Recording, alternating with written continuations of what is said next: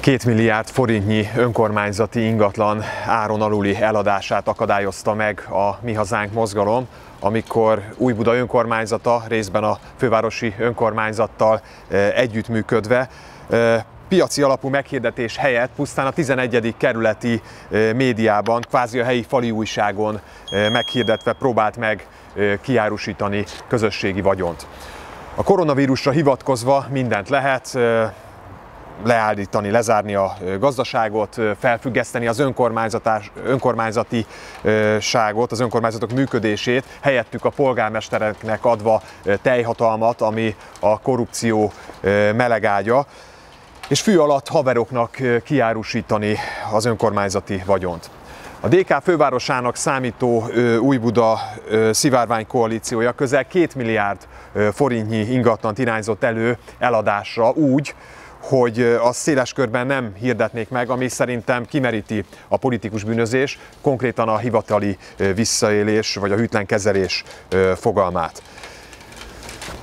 Új-Buda önkormányzatában legalább azt sikerült elérni, elérnünk, hogy legalább informális online egyeztetéseket tartanak, és ezen a polgármester nyitott volt arra a módosító javaslatomra, hogy a legnagyobb ingatlan hirdetési portálon is meg kelljen hirdetni az eladni tervezett ingatlanokat.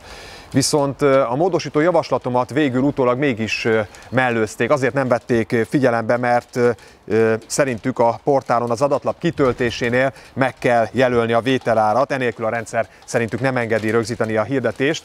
Azonban ezt utólag is igazoltam, hogy nem igaz, pályázat és licit útján konkrét vételár megjelölése nélkül is közé lehet tenni ingatlanok hirdetését. Így végül több hetes küzdelem árán, de sikerült elérni, hogy ezt a két milliárd forintnyi kiárusításra tervezett ingatlant legalább nem áron alul, fű alatt próbálják meg eladni.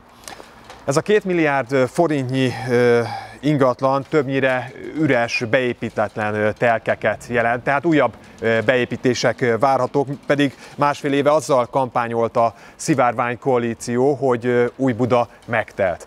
Valóban megtelt, parkolni már számos városrészben szinte lehetetlen, legalább fél órát kell sok esetben parkolóhely keresésével tölteni az embereknek. Ennek ellenére, és bár az önkormányzati törvény 13. paragrafusa a 21 pontos feladatlista előkelő második helyén írja elő a parkolóhelyek biztosítását, mint kötelező önkormányzati feladatot, ennek a feladatnak elemi szinten sem tesz eleget új Buda önkormányzatának, sem előző Fideszes, sem mostani balliberális vezetése. Újbuda valóban megtelt, és bár azzal kampányoltak a magukat jámbor városszépítőknek beállító politikus bűnözők, hogy ők majd csak fákat fognak ültetni, valójában az önkormányzati ingatlanok kiárusítását, újabb beépítéseket terveznek. És nem halljuk ilyenkor az átláthatósági biztos sem, amikor fű alatt piaci hirdetések nélkül, mint egy fali újságon való meghirdetéssel próbálnak kiárusítani két milliárd forintnyi ingatlant. Nem halljuk az átláthatósági biztost, pedig egy pofátlan szerződést kötöttek titkosítva a Transparency International Magyarország kuratóriumi elnökével erre a tisztségre, amit úgy néz ki, hogy inkább csak kifizető helynek használnak, hiszen ilyenkor, amikor az asztalt kellene verje az átláthatósági biztos, de minimum lépéseket kellene tennie annak érdekében, hogy a széles a piaci áron értékesítsék legalább az ingatlanokat, de úgy tűnik, hogy csak a Mi Hazánk mozgalom, illetve a képviselői mandátumom segített hozzá ahhoz, hogy ezt az áron aluli eladást megakadályozzuk.